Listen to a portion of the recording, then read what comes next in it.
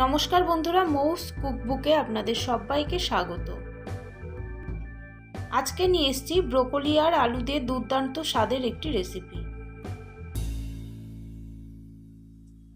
এই রকম সাইজের একটা ব্রোকলি নিয়েছি, এটা আমি টুকরো টুকরো করে কেটে নেব।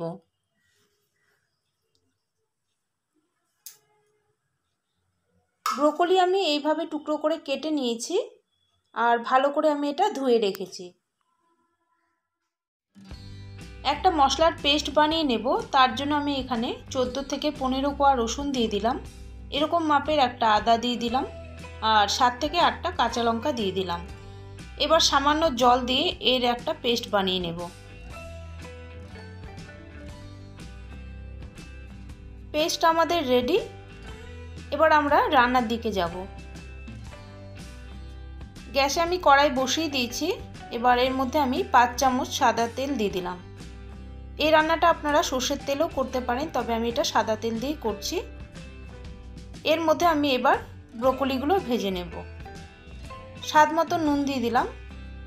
এর মধ্যে কিন্তু আমি হলুদ দেব না, এটা এইভাবেই ভাজবো। ব্রোকলিগুলো আমরা লো টু মিডিয়াম ফ্লেমে তিন থেকে চার মিনিট ফ্রাই করে নেব।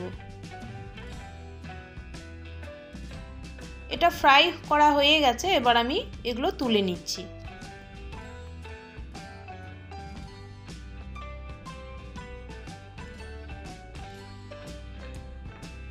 এবার এই তেলের মধ্যে আমি আরও এক চামচ সাদা তেল অ্যাড করলাম।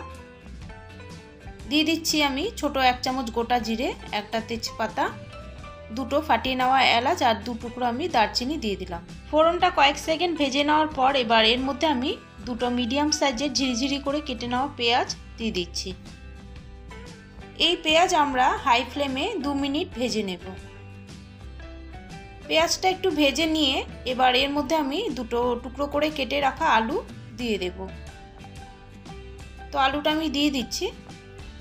এই আলু আমরা পেঁয়াজের সাথে আরও দু তিন মিনিট ভেজে নেব।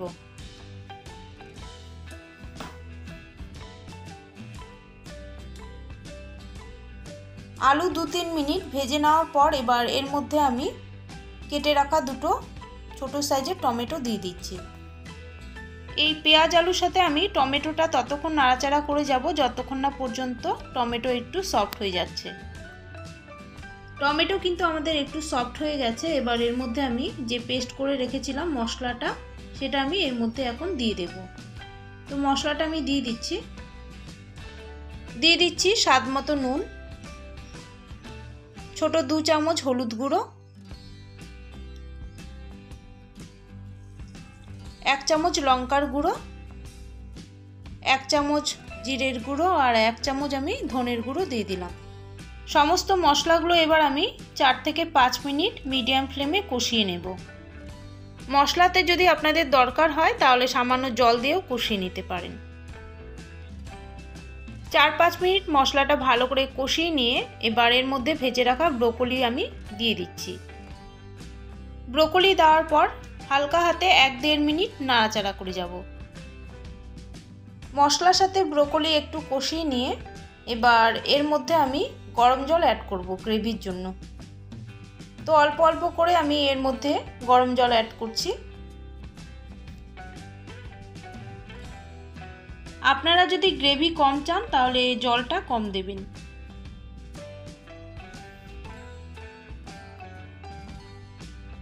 আমি এর মধ্যে প্রায় দেড় কাপের মতো জল অ্যাড করলাম। এবার ভালো করে মিক্স করে নিয়ে এটা লো ফ্লেমে ঢাকা দিয়ে আমি এটা রান্না করে নেব। পাঁচ সাত মিনিটের জন্য এটা ঢাকা দিয়ে রাখছি। সাত মিনিট হয়ে গেছে, এবার ঢাকনা খুলে দিলাম। এবার ভালো করে মিক্স করে নিচ্ছি। ব্রোকলি তো আমরা ভেজেই নিয়েছিলাম। আলুটা আমি চেক করে নিচ্ছি, সেদ্ধ হয়েছে কিনা। আলু ভালোভাবেই সেদ্ধ হয়ে গেছে।